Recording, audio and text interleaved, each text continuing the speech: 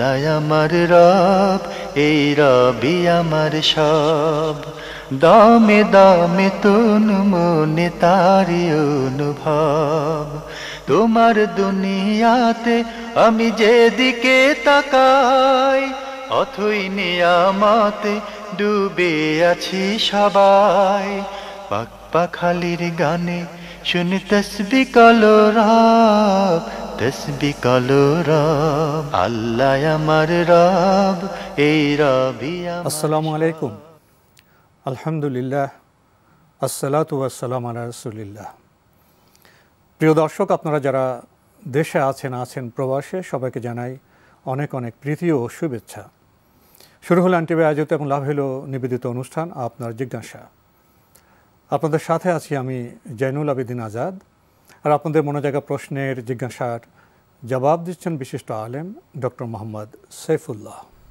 আসসালামু আলাইকুম ওরহমতুল্লাহি ওবরাকাত প্রিয় দর্শক চলুন তাহলে জিজ্ঞাসার জগতে শুরুতে একটি ইমেল পাঠিয়েছেন সাবা কুইন। লিখেছেন প্রায় একটা কথা শুনে থাকি যে আল্লাহ খুশি হলে বৃষ্টি কন্যা সন্তান আর মেহমান পাঠান। এ কথা কি সহি? প্রথম কথা হচ্ছে মানে হুবহু অ্যাবসুলেটলি এই কথাটা কোনো কোরআন এবং হাদিস অথবা মানে অভিজ্ঞতালব্ধ বক্তব্য নয়। এমন কথা নয় যেটা আসলে অনুসরণযোগ্য, অনুসরণ করা যেতে পারে। বাকি বৃষ্টি আল্লাহ রহমত, আমরা জানি।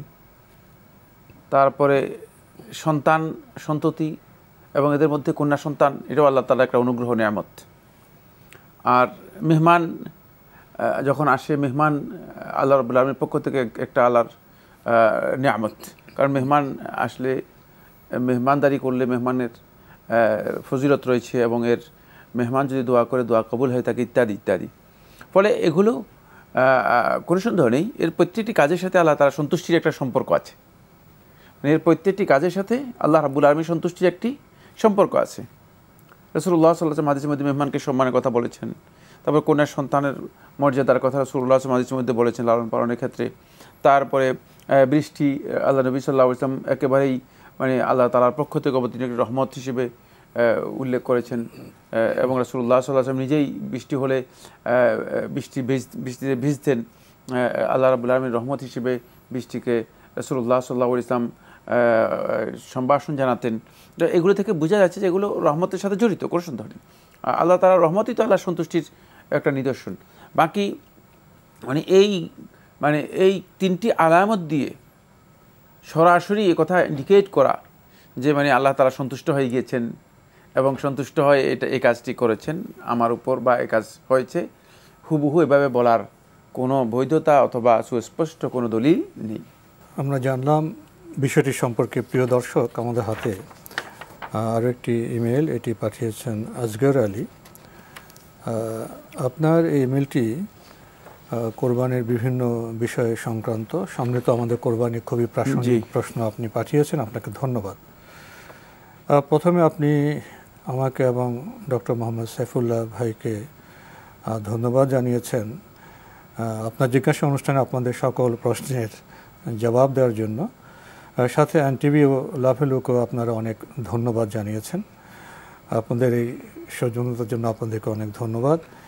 আমরা আপনার প্রশ্নে এখন যাচ্ছি। প্রথম প্রশ্ন করেছেন, কোরবানির পশু কেমন হওয়া উত্তম? ঠিক কত টাকা হাতে থাকলে একজন ব্যক্তির উপর কোরবানি ওয়াজিব হয়? ধন্যবাদ। খুবই গুরুত্বপূর্ণ প্রশ্ন করেছেন। কোরবানির পশু মানে সকল প্রকার ত্রুটিমুক্ত হওয়া কোরবানি পশুর জন্য অত্যন্ত অপরিহার্য একটি বিষয়। ত্রুটি কাকে বলা হয়ে থাকে? ত্রুটি হচ্ছে এমন কোনো খুঁত বা এমন কোনো দোষ যে দোষের কারণে পশুর দাম এবং মানের দিক থেকে নিম্নমান হয়ে যায় দাম কমে যায়। এটাই হচ্ছে ত্রুটি মূলত। যেমন পশুর আহ, পা একটা ভেঙে গেল এক পা ভাঙ্গা। ন্যাংরা বলা হয় তাকে। চোখ একটা অন্ধ হয়ে গেল। অথবা পুরা চোখই নাই হয়ে গেল। তাহলে অন্ধ। মানে এই ধরনের যদি হয়ে থাকে যেমন একেবারে শুকিয়ে অনেকটা কঙ্কালের মতো হয়ে গিয়েছে শুধুমাত্র হাড্ডি সার। মানে কোনো গোস্ত।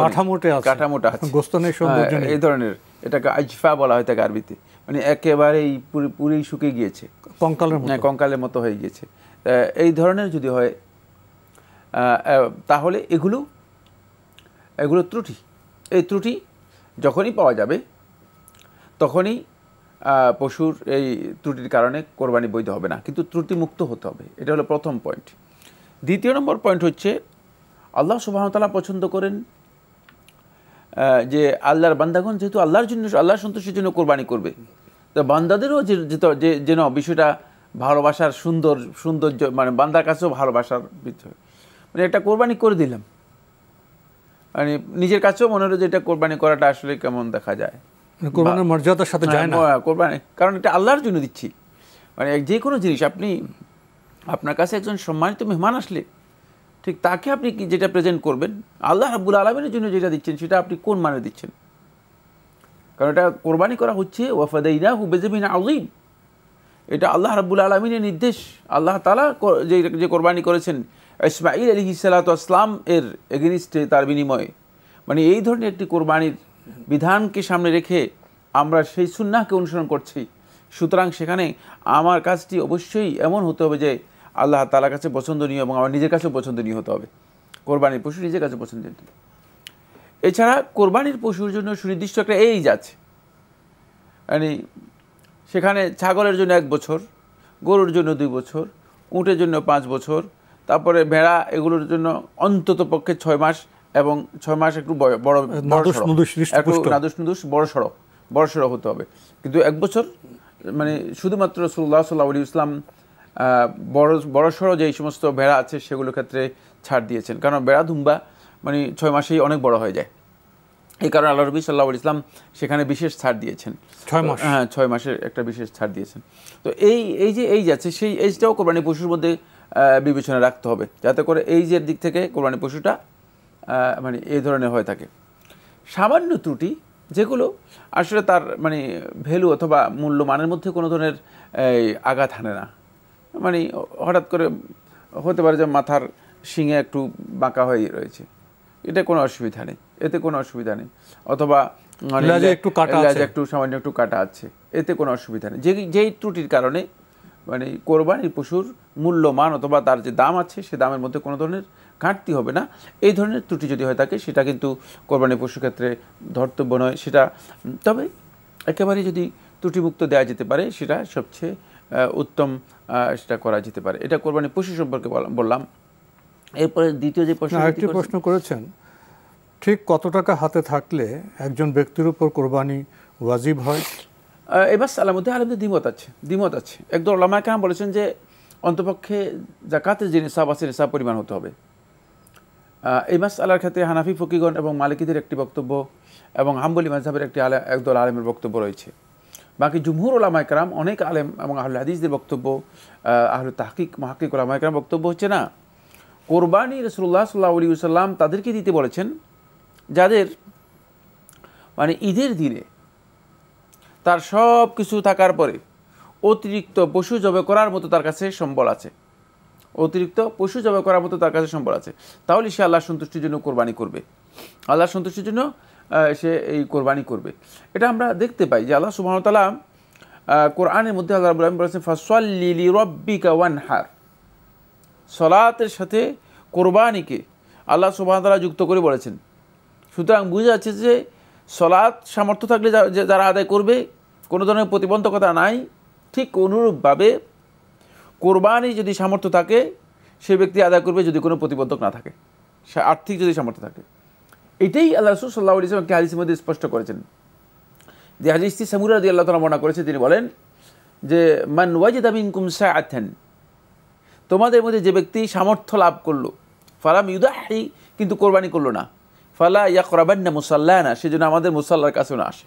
খুব খুব কঠিন কথা। হ্যাঁ তাহলে এই হাদিস থেকে বোঝা যাচ্ছে শুধুমাত্র সামর্থ্য থাকলেই ওই দিন কোরবানি করার মতো সামর্থ্য থাকলে। এখানে কথা বলা এই কথা বলা হয়নি। এই হাদিসে স্পষ্ট করে কথা বলা হয়নি যে মান ইমতালাকা মিনকুম অথবা মান মালিকা মালাকা মিনকুম নিঃসাবান, তোমাদের মধ্যে যে নিঃসাব পরিমাণ সম্পদের মালিক হয়েছে, না? এ কথা আল্লাহ রসুল সাল্লাম বলেননি, বরং বলেছেন মান ওয়াজেদা ওয়াজেদা মানে কোনো জিনিস পাওয়া মানে এটা মানে তাৎক্ষণিকভাবে যদি কেউ পেয়ে যায়, তার কাছে যদি টাকা এসে যায়, এবং সেটা সামর্থ্য যদি তার হয়, কোরবানি করার মতো টাকা তার কাছে এসে যায়, তাহলে সে কোরবানি করবে, এবং এটাই বিশুদ্ধ মত, এক্ষেত্রে তার উপর কোরবানি যারা ওয়াজিব বলেছেন তাদের মতো ওয়াজিব হবে। আর যারা কোরবানি সুন্না বলেছেন তাদের মতো সুন্না হবে। তবে এই মাসালার মধ্যে আলমদের দ্বিমত আছে। জানলাম বিষয়টি সম্পর্কে প্রিয় দর্শক আরও লিখেছেন সামর্থ্য না থাকলে গরু ভাগে দেওয়া যায় কিন্তু ছাগলে কি ভাগে দেওয়া সম্ভব? না ধন্যবাদ আপনাকে। ছাগলের মধ্যে ভাগ নেই। ছাগল নিজে একটা ইউনিট শুধু একটা ইউনিট। গরুতে রসুল্লাহ সাল্লাহ ইসলাম গরু এবং উটে রসুল্লাহ সাল্লাম ইউনিট বাড়িয়ে দিয়েছেন। এটা আল্লাহ নবী সাল্লাহ আলী ইসলাম রুখসত দিয়েছেন। খেয়াল রাখতে হবে, আসলে একটা যান, একটা প্রাণী, তার প্রাণ একটা। সুতরাং আল্লাহর জন্য একটাই উৎসর্গ হচ্ছে। কিন্তু গরু এবং উটের মধ্যে শুধুমাত্র আল্লাহ রসুল সাল্লাহ আলী ইসলাম সবাবের মধ্যে শেয়ার যাতে করতে পারে এই জন্য রসুল্লাহ সাল্লাহ ইসলাম ইউনিট বাড়িয়ে সবাইকে সুযোগ করে দিয়েছেন। সহজ করে দিয়েছেন। সহজ করে দিয়েছেন সুযোগ করে দিয়েছেন। কিন্তু আসল যেই বক্তব্য সেটা হচ্ছে আল্লাহর জন্য যদি কেউ জবে করে থাকেন সে একটা ইউনিট পরিপূর্ণরূপে জবে করাটাই হচ্ছে শূন্য একটি প্রাণ। একটা প্রাণ। সেক্ষেত্রে ছাগল এটা একটা ইউনিট। এখানে কোনোভাবেই শেয়ার করার সুযোগ নেই দুইজন তিনজন জায়েজ নেই। তবে একটি ছাগলে একটা পুরা পরিবারের পক্ষ থেকে কোরবানি বৈধ। মানে পরিবারের পক্ষ থেকে কোরবানি বৈধ। যেমন পরিবারের মধ্যে চারজন সদস্য আছে ছেলে মেয়ে তিনজন স্ত্রী তারপরে নিজে। এই সকলের পক্ষ থেকে যদি একটা ছাগল জবে করেন তাহলে কোরবানি হয়ে যাবে। ভাই আজগর আলী আপনার ইমেল পড়ছিলাম আরও আপনার কয়েকটি প্রশ্ন রয়ে গেছে। আপনি জানতে চেয়েছেন শরিকে কোরবানি দিলে কেমন শরিক হওয়া চাই? ধন্যবাদ গুরুত্বপূর্ণ প্রশ্ন করেছেন। কোরবানি দেওয়া ইবাদত। যেহেতু কোরবানিকে আল্লাহ সুবাহ তালা কোরআনে করিম ইবাদত মৌলিক ইবাদত হিসেবে উল্লেখ করেছে কল ইন্না সলাতি ওনুসুকি ওমা হিয়া ওমাতি লিল্লাহি রব্বিল আলমিন লা শারিকা লাহু ওয়া বিযালিকা উমিরতু আনা আউয়াল মুসলিমিন ফসল্লি লিরাব্বিকা ওয়ানহার অন্য আয়াতের মধ্যে আল্লাহ সুবাহ তালা মানে কোরবানির বিষয়টি ওয়াল বুদনা জাআলনাহা লাকুম মিন শাআইরিল্লাহি যে কোরবানিকে আমি তোমাদের জন্য নিদর্শন হিসেবে নির্ধারণ করেছি। ইসলামের যে মৌলিক নিদর্শন, আল্লাহ তালা যে শায়েরগুলো আছে, তার মধ্যে অন্তর্ভুক্ত করেছি। এখান থেকে বোঝা যায় যে কুরবানি এটি একটি ইবাদত। আর মৌলিক ইবাদতের ক্ষেত্রে আমরা খেয়াল রাখতে হবে যে, যেই সমস্ত ইবাদতে শেয়ারিংয়ের সুযোগ রয়েছে, সেই ইবাদতে অবশ্যই আপনার শেয়ার যিনি করছেন পার্টনার পার্টনার অবশ্যই একজন দিনদার ব্যক্তি হওয়া, একজন ভালো ব্যক্তি হওয়া একজন নামাজি ব্যক্তি হওয়ায় বাঞ্ছনীয় কোনো সন্দেহ নেই। সেক্ষেত্রে আপনাকে খেয়াল রাখতে হবে যাতে পার্টনার এমন ব্যক্তি হয় যিনি আল্লাহর সন্তুষ্টির জন্য কোরবানি করতেছেন এবং তার নিয়তের মধ্যে বিশুদ্ধ নিয়ত রয়েছে, তার এখলাস রয়েছে, ইবাদতের মধ্যে তার ঘাটতি ঘাটতি নেই তার সম্পদের মধ্যে হালাল উপার্জন রয়েছে, এটা অবশ্যই খেয়াল রাখতে হবে। কিন্তু কিন্তু আছে, কিন্তু হচ্ছে এই যে আপনি সমস্ত লোকের ঘরে ঘরে গিয়ে গোয়েন্দাগিরি করে? সে তার কি ইনকাম করে, চাকরি করে, কি, কোথায় চাকরি করে তার মানে ব্যাংক ব্যালেন্স আছে কি না এগুলো আপনার জানা দায়িত্ব নয়। মানে আপনি বাহ্যিক দিকটাকেই বিবেচনা করবেন। সেই ক্ষেত্রে যদি খুব ভালো করে খেয়াল করুন, খুবই ইম্পর্টেন্ট মাসাল সেক্ষেত্রে যদি কোনো পার্টনার এমন হয় যে মানে তার ইনকামে কোনো হারামের সম্ভাবনা আছে, অথবা তার ইবাদতের মধ্যে কিছু ঘাটতি আছে, অথবা তার নিয়তের মধ্যে কিছু গড়বড় আছে মানে আপনি তো জানেন না। আল্লাহ তো জানেন, নিহত সম্পর্কে আল্লাহ জানেন। আর অথবা তার অন্য কোনো প্রবলেম আছে। তাহলে এই অবস্থায় আপনার কোরবানি হয়ে যাবে। তার কোরবানির বিষয়টি আল্লাহ তালার কাছে। যেহেতু প্রত্যেকের কোরবানির আলা আলাদা। প্রত্যেকের কোরবানির আলাদা। এখানে শেয়ারের অনুমোদন দেওয়া হয়েছে, কিন্তু প্রত্যেকের ইউনিট আলাদা। এই কারণে আপনার শেয়ারটা আপনার জন্য। যদি আপনি সত্যিকার আল্লাহ সন্তুষ্টির জন্য এখলাসের সাথে একান্ত, একনিষ্ঠতার সাথে আপনি কোরবানি করেন, তাহলে আপনার এই কোরবানিটুকু আল্লাহ সন্তুষ্টির জন্য হয়ে যাবে। বাকি আপনার পার্টনার, সে কি উদ্দেশ্য করেছে? এটা প্রত্যেক পার্টনারকে জিজ্ঞেস, আপনি কিসের জন্য কোরবানি করতেছেন? আপনি কী জন্য কোরবানি করতেছেন? আপনি কি কোরবানি করতেছেন? টাকা হালাল আছে কিনা আপনার? এগুলো কোনো লোকের দায়িত্ব নয়। তাহলে তো সমাজে একটা ঝগড়া বিবাদ সৃষ্টি হয়ে যাবে। এগুলো দায়িত্ব নয়। এটা আমাদের অনেকেই এই বিষয়গুলো বুঝেন না। এটা এই জন্য আমরা একেবারে স্পষ্ট করে দিলাম এগুলো আমাদের দায়িত্ব নয়। তবে আমরা বাহ্যিকভাবে মানুষদেরকে চেষ্টা করব। মূল্যায়ন করার জন্য চেষ্টা করব জানার জন্য চেষ্টা করব। এর অতিরিক্ত আমাদের কোনো দায়িত্ব নেই। এক্ষেত্রে যদি কোনো কারণে মানে আপনি মনে করেন যে ভুল হয়ে গিয়েছে আপনার কোরবানি হয়ে যাবে আপনার কোনো চিন্তা নেই। আমরা খুবই গুরুত্বপূর্ণ বিষয়ে অবগত হলাম প্রিয় দর্শক। সামনে তো আমাদের কোরবানি। এসব বিষয় জানার কারণে আমরা বোধহয় আরও সুন্দরভাবে স্বচ্ছভাবে কোরবানির পথে অগ্রসর হতে পারব। আরও লিখেছেন অনেকে বলেন শরীর সংখ্যা বেজর না হলে এক ভাগ নবীর নামে দিতে হয়। নবীর নামে কীভাবে দেওয়ার নিয়ম? প্রথম কথা হচ্ছে শরিক বেজট হতে হবে এটা শর্ত নয়। যদি কেউ বেজট করেন, করতে পারেন। বেজট ইন আল্লাহ বিত্রুনি বলে রিত্র আল্লাহ তালা নিজেও বেজট, বেজটকে আল্লাহ তালা পছন্দ করেন। আল্লাহ বলেন হচ্ছে ভিত্র একেবারেই বেজট। মানে সুতরাং বেজট সংখ্যাটা আল্লাহ তালার কাছে পছন্দনীয়। এই হাদিস থেকে বোঝা যায়, বেজটটাকে আল- আল্লাহ তালা পছন্দ করে থাকেন। বাকি বেজট প্রত্যেক ক্ষেত্রে করতে হবে বাধ্যতামূলক নয়। দুই নম্বর যে বিষয়টি, সেটা হচ্ছে, যদি জোর হয়, এতে কোরবানির কোনো সমস্যা নেই।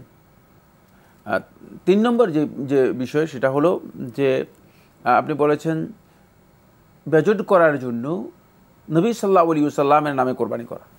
প্রথম কথা হচ্ছে, নবী সাল্লাহ ইসলামের নামে কুরবানি করার বিষয়টি সেলেফদের মানহাজ থেকে পাওয়া যায়নি। অর্থাৎ সলফে সালিহীন বলতে আমি বোঝাচ্ছি সাহাবাইক রাম সাহাবাইক রামদের পরবর্তী তাবেইন তাবিনদের পরবর্তী তাবে তাবেইন এবং তাদের পরবর্তী আইমতুল ইজতিয়ার যারা ছিলেন, তাদের কারও কাছ থেকে এটা প্রমাণিত হয়নি যে তারা রসুল্লাহ সাল্লামের নামে কোরবানি করেছেন, অথবা রাসুল্লাহ পক্ষ থেকে করেছেন। নামে তো কোরবানি হয়ই না। হবেই না। হবেই না। কিন্তু পক্ষ থেকেও কোরবানি করেছেন এটা প্রমাণিত নেই কারণ হচ্ছে কোরবানি হচ্ছে ইবাদত। কোনো ইবাদত আল্লাহ রসুল সাল্লামের পক্ষ থেকে করার কোনো প্রয়োজন নেই।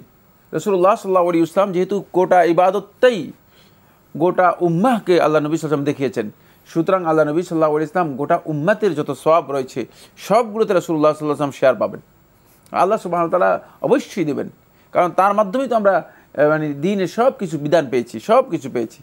সুতরাং রাসূলুল্লাহ আমাদের শিক্ষক- হ্যাঁ, শিক্ষক হ্যাঁ, তো ছাত্রদের তো ইবাদতের- জি। সেক্ষেত্রে রসুল্লাহ আসলামের পক্ষ থেকে কোরবানি করার কোনো প্রয়োজন নেই। এটা আমাদের সমাজে ব্যাপকভাবে একটা আমরা প্র্যাকটিস দেখতে পাই। একটা।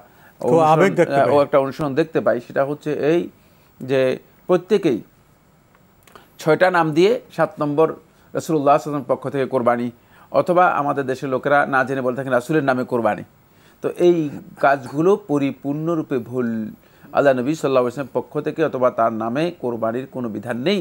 আর এটা সুন্নাও নয়। এটা সুন্নাও নয়। যেহেতু সুন্নাতে আমরা তো সুন্না যাব সাহাবাই কামদের আমল দেখব তাবিনদের আমল দেখব, এভাবেই তো দেখে আসব যে কোরআন এবং হাদিসে যেটা নেই। সেখানে আমরা সাহাবাই কালামদের আমল কি পেয়েছি তাবিনদের আমল কি পেয়েছি যদি সেখানে না থাকে তাহলে অবশ্যই সে কাজটি আমাদের জন্য আদর্শ হতে পারে না অনুসরণীয় হতে পারে না। ভাই আজগর আলী আপনি সবশেষে লিখেছেন কোরবানির দিনে নির্দিষ্ট কোনো আমল থাকলে বলবেন? কোরবানির দিনে নির্দিষ্ট আমল একটাই।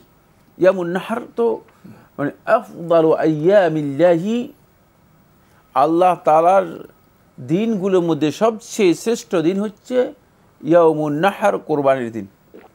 সুতরাং এই দিনের শ্রেষ্ঠত্ব হচ্ছে, কোরবানির দিনের সবচেয়ে শ্রেষ্ঠ আমল হচ্ছে ইহরাকুদ্দাম মানে পশু জবে করা। এটা হচ্ছে সবচেয়ে শ্রেষ্ঠ আমল, পশু জবে করা। সুতরাং পশু জবে করার চেয়ে শ্রেষ্ঠ আমল আর কি চাচ্ছেন? এই দিনের শ্রেষ্ঠ আমল। আর এই দিনের আরও কতগুলো আমল আছে? তার মধ্যে একটি আমল হচ্ছে যে এই দিনে পশু জবে করার পর যিনি পশু জবে করবেন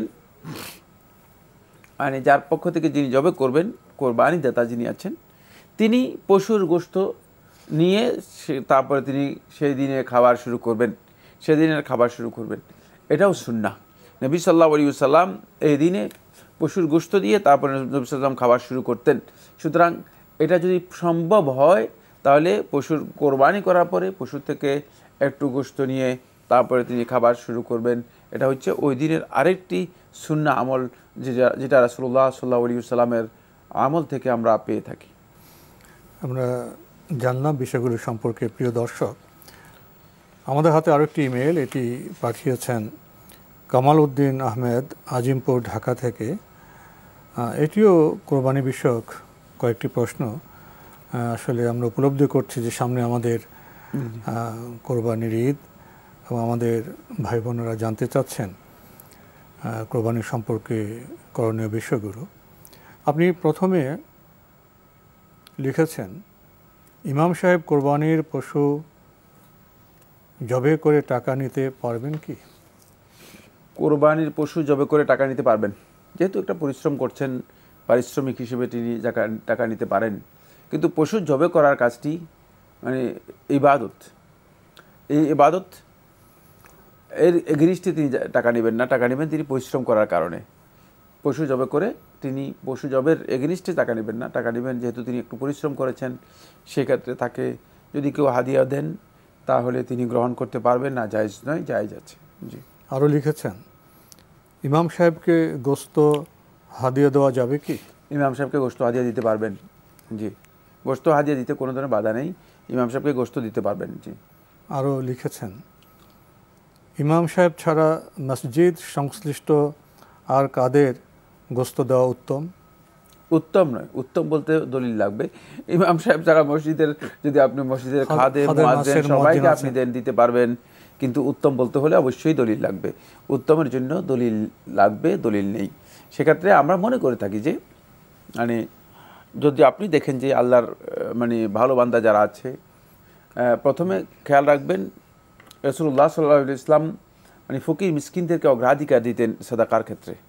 সাদাকার ক্ষেত্রে অগ্রাধিকার দিতেন। এই আয়াতেও আল্লাহ সুবাহ তালা কোরআন করিম সুরাতুল হাজ্জের দুটি আয়াতের মধ্যেই এই বিষয়টি স্পষ্ট করেছেন। তার মধ্যে ওয়াতমুল ইসাল ফকির। আল্লাহ তালা বলেছেন যে, যারা সংকটে আছে সমস্যা আছে, এবং যারা ফকির, নিঃস্ব, তাদেরকে তোমরা নিজেরা খাও এবং তাদেরকে তোমরা এখান থেকে খাও। তাহলে এক্ষেত্রে ফকির, মিসকিন যারা সংকটাপন্ন অবস্থায় আছে, বিশেষ করে যারা কোরবানি দিতে পারে নাই কোরবানি এই দিনে কোরবানি যে একটা আনন্দ আছে, সে আনন্দ শেয়ার করতে পারল না। তাদেরকে এই দিনে দেওয়াটা উত্তম। এই দিনে দেওয়াটা উত্তম। এক্ষেত্রে যদি মসজিদের ইমাম, মসজিদের মহাজিন মসজিদের লোকেরা যদি এই ক্যাটাগরির মধ্যে পড়ে যায়, তাহলে এরা অবশ্যই গুরুত্ব পাবে বেশি। এরা অগ্রাধিকার পাবে, কোনো সন্দেহ নেই। কিন্তু খেয়াল রাখতে হবে যে কুরবানির এই গোশের মধ্যে আপনি ফকির মিসকিন ছাড়াও আত্মীয় স্বজনকে দিতে পারবেন এবং প্রতিবেশীদেরকে দিতে পারবেন নিজেরাও খেতে পারবেন নিজেরা ইচ্ছা করলে সেখানে সংরক্ষণও করতে পারবেন। তো আজকে আমাদের এখানে শেষ করতে হচ্ছে। আপনাকে অনেক ধন্যবাদ। আপনাকে অনেক ধন্যবাদ। প্রিয় দর্শক আমরা দেখছিলাম এনটিভি আয়োজিত এবং লাভ হলো নিবেদিত অনুষ্ঠানে আপনার জিজ্ঞাসা। আমাদের অনুষ্ঠান আপনারা এনটিভি অনলাইনেও দেখতে পারবেন। ভিজিট করুন W W W dot NTV BD dot com এছাড়া ইউটিউবে এবং আমাদের ভেরিফাইড ফেসবুক পেজে অনুষ্ঠান দেখতে পারবেন।